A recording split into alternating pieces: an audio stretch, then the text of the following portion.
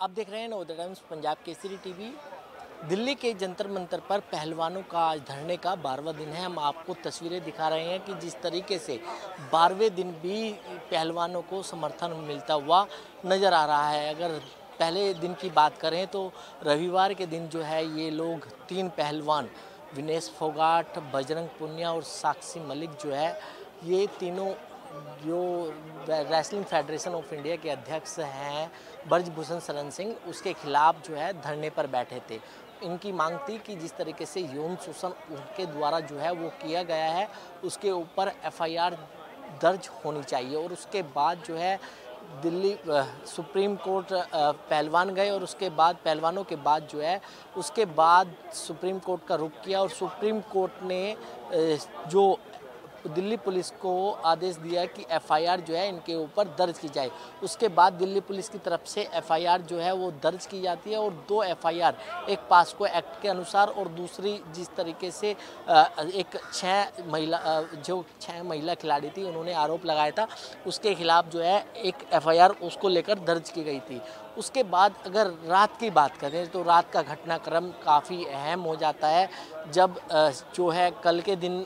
जब यहाँ पर अलग अलग पार्टियों से तो समर्थन जो है इन पहलवानों को मिल ही रहा है। उसके बावजूद कल दिन में यहाँ पर बारिश होती है और बारिश होने के साथ साथ यहाँ पर कल आम आदमी पार्टी के जो मंत्री हैं गोपाल राय और सौरभ भारद्वाज, वो यहाँ पर पहुँचे थे और अपना समर्थन जो है इनको दिया था। वहीं शाम की अगर बात करें तो जिस तरीके से कल दिन में बारिश आई और शाम के वक्त जो है, यहाँ पर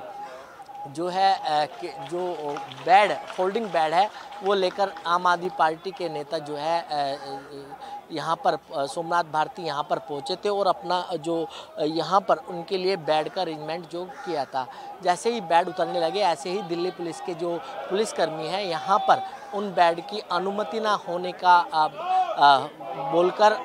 उन बेडों को जो है वापस यहाँ से भिजवाया गया, जिसके बाद तीन लोगों को हिरासत में लिया गया। लेकिन पूरे घटनाक्रम की बात करें तो कई जो पहलवान हैं, उनको गंभीर जो है, वो चोट भी जो है यहाँ पर लगी है। लेकिन जिस तरीके से इन पहलवानों ने एक जो पुलिसकर्मी है, उसको पकड़कर यहाँ पर कहा कि जो यहाँ पर जो है, उस पुलिसकर्मी ने शराब पी रखी है। लेकिन जिस तरीके से आरोप प्रत्यारोप का दौर रात भर चलता रहा, वहीं दिल्ली महिला आयोग की अध्यक्ष स्वाति माल भी यहाँ पर रात में पहुँची थी और साथ ही साथ राज्यसभा सांसद दीपेंद्र हुड्डा भी यहाँ पर पहुँचे थे और अपना समर्थन देते हुए कहीं ना कहीं नज़र आए थे। लेकिन दिल्ली पुलिस ने रात में किसी को आने की अनुमति नहीं दी थी और उसके बाद जो है पहलवानों की तरफ़ से वीडियो जारी किया गया था कि जो भी लोग जहाँ पर हैं, वो लोग जंतर मंतर जो है, वो ज़रूर पहुँचे। लेकिन पुलिस ने यहाँ पर पूरी चारों तरफ़ से जो है बैरिकेटिंग कर रखी थी और मीडिया को भी अनुमति नहीं थी। लेकिन जिस तरीके से जैसे जैसे दिन दिन बढ़ता गया ऐसे ऐसे यहाँ पर जो है लोगों का आना शुरू हुआ और उसके बाद अभी की बात करें तो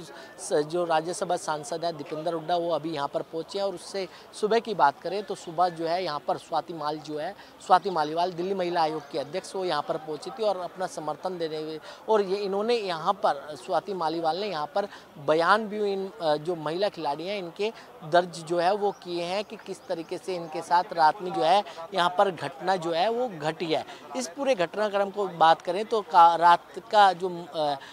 इंसिडेंट है, वो काफ़ी अहम हो जाता है जब पुलिस और पहलवानों के बीच जो है नोकझोंक देखने के लिए मिली है। दिल्ली से कमल कुमार कंसल, नवोदय टाइम्स, पंजाब केसरी टीवी।